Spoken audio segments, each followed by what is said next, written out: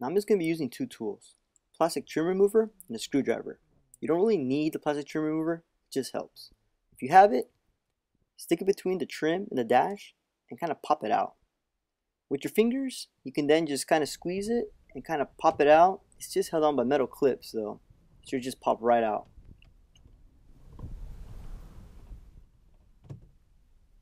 Now once it's popped out, you want to remove the center button that controls the hazard and the door locks. Just push down the little metal tabs and push out and should just pop right off. And then just unplug it.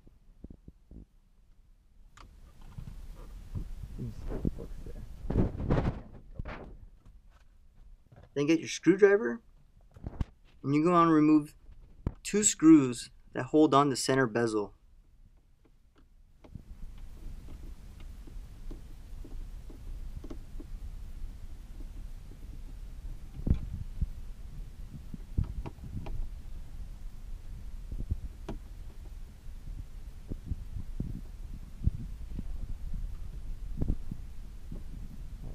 Thing is, got when we're taking this out, it's like snapped in, so hopefully I can do it better. And the same as the center trim, this one's also held on by metal clips that just snaps right in. So you're gonna have to just pull it out. Center one's always been a little bit more stubborn, so it's gonna take a little bit more pull.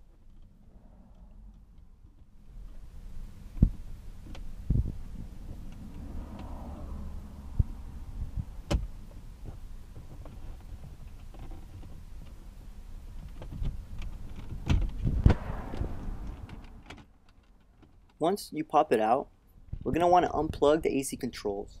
These are really easy. On the blue one, little thing you have to push down and slide over the locking clip. And it pops right out.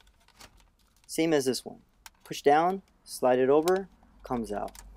On this one, the top and bottom you have to pinch down and kind of wiggle it out.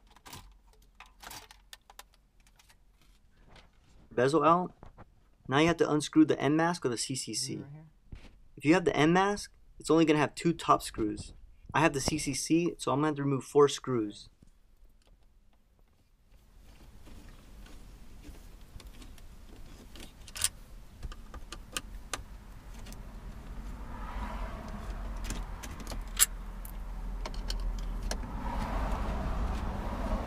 I'm gonna have to turn the car on so to move this thing back. So just keep focus on here and then I'm gonna go to the other side. Right. Or I could always edit it later, but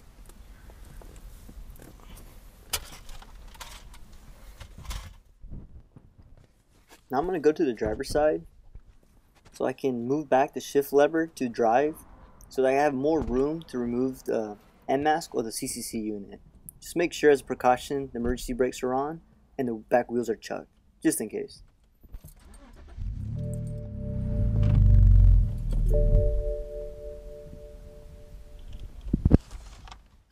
When you slide it out, you're going to want to locate the harness. The harness is also held on by locking clip. That one you just push down and you just slide it, it should come right off.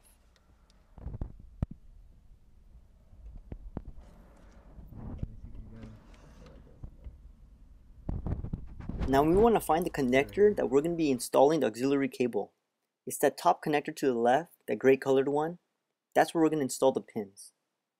To remove from the main harness, you push down a little button and slides off. As well with this one. A little clip, push down with your fingernail and then slide it and it comes out of that connector. Now you're ready to install the pins. Now I have already routed my auxiliary cable from the back of the, the unit to my glove box. So it was already there. Depending on where you're going to install it, you just make it lead back to the back of the unit so you can put the clips in.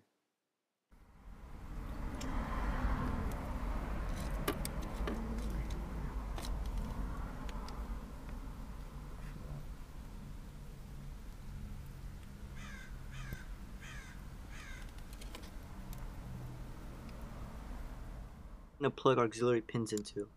It's going to be labeled 1 through 12, but it's not going to be 1, 2, 3.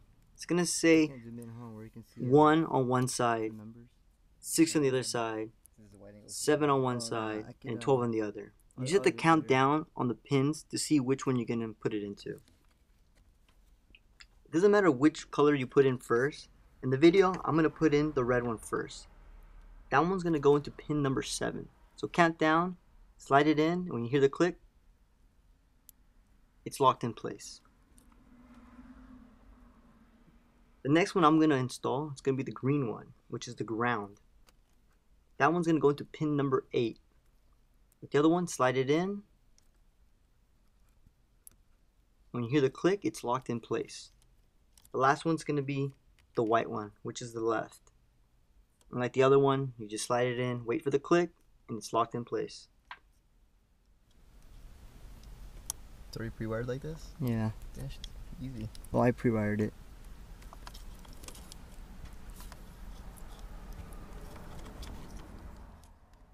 Now once you got the clips all in, find the connector again and slide it back into place so that you can install it back into the harness and you're ready to go.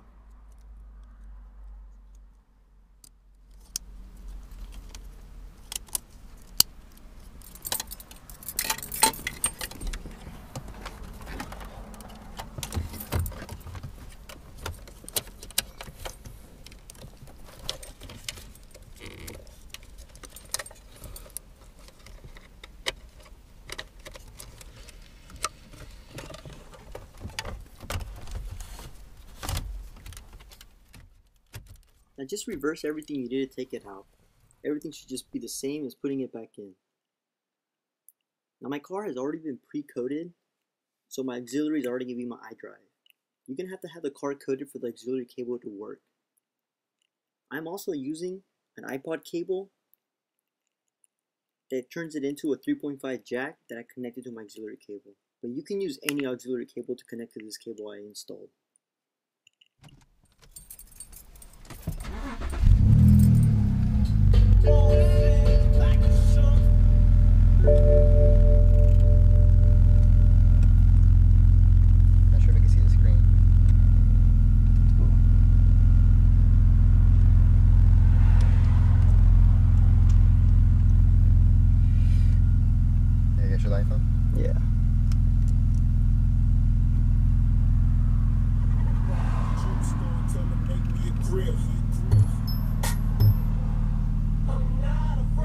Should I show the external source thing? Oh, wait a minute. It's been a ride.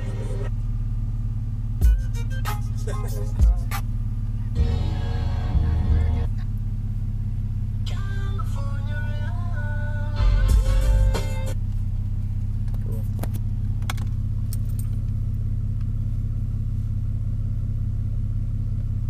How long that one take?